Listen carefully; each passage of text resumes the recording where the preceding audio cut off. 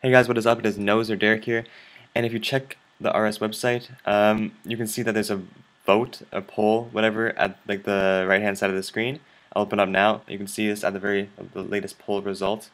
Um, it's asking for high score stuff, and uh, one of the options is free players included. So that means free to play will be coming back to the high scorers, but I want everyone who watches this to vote free players included and not high score per country because if this goes above 39 then uh, they'll probably do that instead of free players. I don't know what they'll do. Maybe they'll do both. But uh, just make sure you vote for free players included because this is awesome.